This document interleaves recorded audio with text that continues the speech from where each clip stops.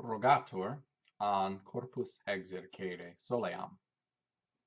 Vel tot homines non tam frequenter quam velem certem mensibus hie malebus corpus exerceo, tamen corpus exercere praecipue birota agenda mihi placet.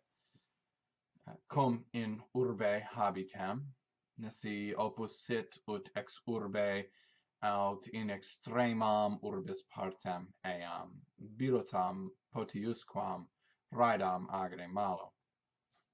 Haud raro ad macellum cibos emptum et ad popinas me birota ferro quoque in aliis locis ad birotas et deambulandum destinatis birota ta vehi mihi placet eh, exempli gratia quaque aestate eh, uh, meus et ego iter plusquam centum et octogenta milium passuum a uh, terra Mariae occidentali usque ad Washingtoniam caput patriae quatuor diebus birotis facere solemus.